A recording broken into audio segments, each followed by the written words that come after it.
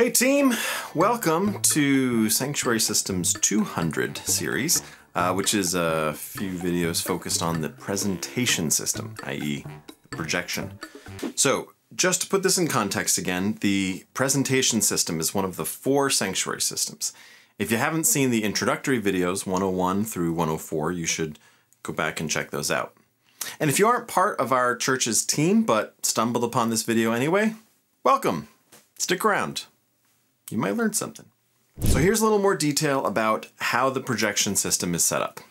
There are two projectors. They're what's called short throw projectors, which means they can project over a large area without being very far away.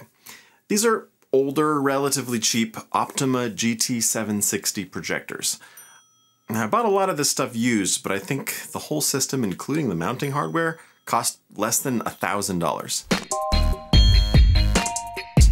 Now, these projectors aren't especially bright, they're not especially high resolution, uh, but between the two of them, we can project a 2452 by 800 image about 22 feet wide, which is suitable for text and high contrast graphics. Now, it's not suited very well to full screen video, partly because the projectors just aren't powerful enough, but mainly because of the area in the middle where the two projections are blended together, We'll talk about that more in video 203, but uh, in short, white on black looks great. Anything else uh, varies from eh to ugh. There are a few reasons we opted for this style of presentation as opposed to the large video walls that all the cool churches have. One, it's so much less expensive, um, and that just seems like good stewardship of our limited resources. Uh, two, when a wall of video screens is off, it feels like something is, well, off. So there's kind of a desire to always make sure there's something filling the screens, which is at best unnecessary and at worst distracting. When our projection is off, it's just a wall, just part of the room, nothing is missing. So um, I actually like to think of our projection setup as more of a lighting effect than a video screen. Anyway, both projectors are connected via HDMI to the computer in the backstage room, and the computer just thinks of them as two displays. The way we get them to work together is with ProPresenter, the software at the center of the system. If you're watching this video and you're on our tech team, then you probably already know the basics of ProPresenter. But for the sake of completeness, we'll spend the rest of this video talking about the basics of operating ProPresenter. Okay, so let's say you're running ProPresenter on a Sunday morning. Let's assume everything is turned on already. See video 102. Uh, not only that, but ProPresenter has been set up already. More on that in video 202. And the live stream is already going. See video 501. Here's the basic flow of a typical service. So after the band is done rehearsing, you can start out by clicking on the pre-service announcements slide. The window on the upper left in ProPresenter should be showing you what is being broadcast over the live stream. The slides are set up to trigger certain actions that affect things like countdown timer or what's shown on the live stream or uh, music pads that play under worship songs. It's all pretty automated, so most of the time it's just a matter of clicking to the next slide. Now, at this point, the next slide is the call to worship video. So when you click that slide, music and video begins, which lets people know that the service is starting. As that ends, click the next slide. Now it doesn't look like there's anything happening in this slide, but it's still important to click it because it triggers the live stream to show the camera feed. Next, you'll be controlling the slides showing the song lyrics. At the beginning and end of each song, there's a blank slide, in case you want to clear things easily. Otherwise, the lyric slides usually go straight through, one after another. But the slides are also labeled to help you keep track of where you are if you have to go back to a verse or chorus somewhere. Also, rather than using the mouse to click the slides, you can advance to the next slide by pressing the spacebar, or go forward or backward through the slides with the left and right arrow keys. When you're controlling lyric slides, it's really important to make sure the words are up before they need to be sung.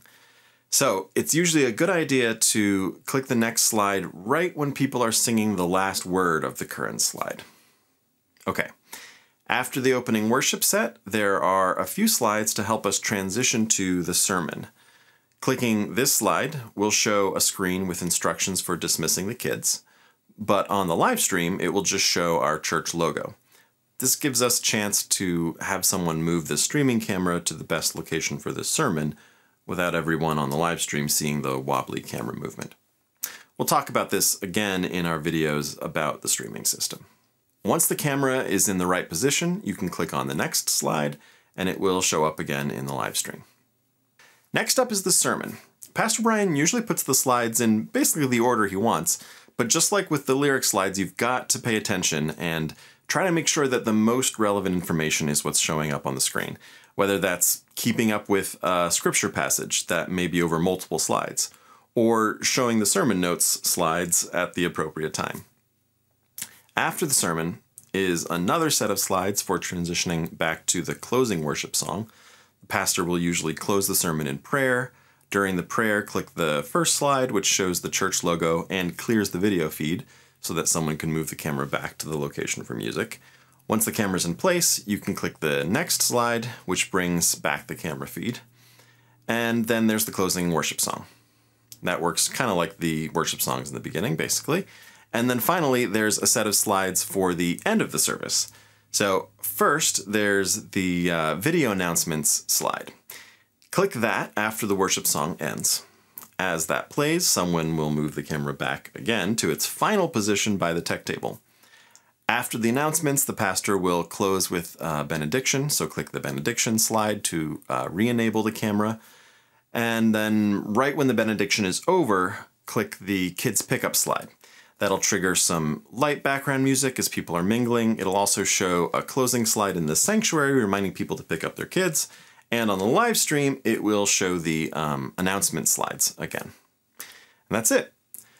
We'll talk about closing out the live stream and uploading the sermon in other videos, but as far as running ProPresenter, that's basically it. The next video is going to dive deeper into ProPresenter, so you'll know more about what's going on under the hood, and um, most importantly, how to set up a Sunday playlist. But before we go, I wanted to make sure you knew a couple other tips.